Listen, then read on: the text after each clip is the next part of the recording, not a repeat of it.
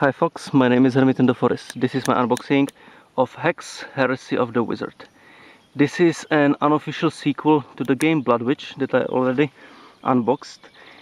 Uh, it features uh, first person view and control a party of four characters. In this game you have to stop the evil wizard, uh, the nameless one, who has banished the four gods from your world and he has um, captured them in some crystalline prisons in the land of dreams.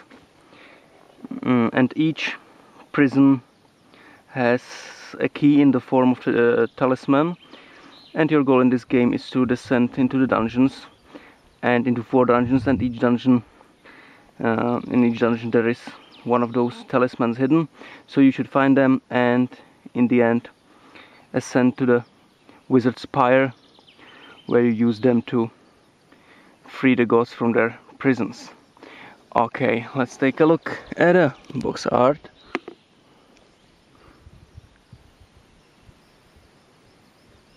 Looks like this. Very nice box. Now let's turn the box around and see the backside for some info about the game and pictures from the game.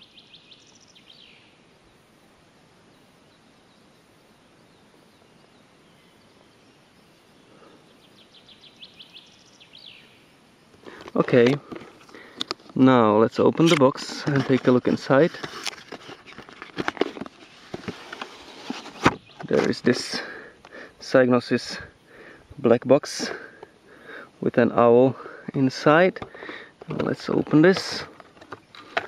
So here is the game itself. It comes on two three and a half inches discs. This is disc one, disc two.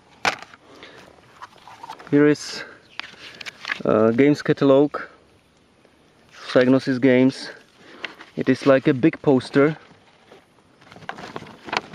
So here you can read some info about their releases. In 1993 1994 you know on the back side it continues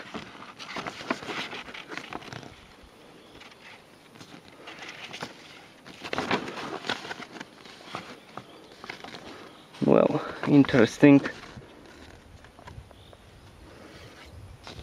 So this is the advertising.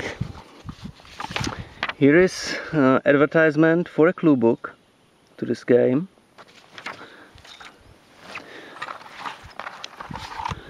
Then there is a poster.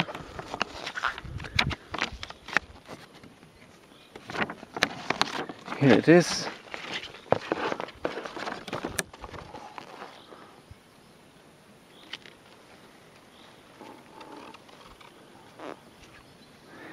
nice. And the last thing in the box is the game manual that has unusual format as you can see. So the copyright something oh here's the table of contents. Okay table of contents. And here we begin with the story. So important info about the game. History installation of the game, character selection, character classes that you can choose from, statistics or attributes if you want, options. Okay, here is the main screen, the game interface, game controls. Spellbook and spellcasting. Inventory. Yeah full screen mode so shopping and selling spellcasting.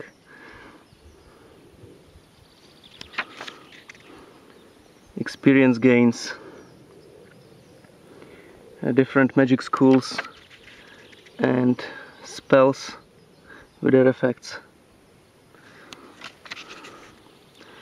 available characters. Pre-made characters that you can choose from. Although I think you can create even your own.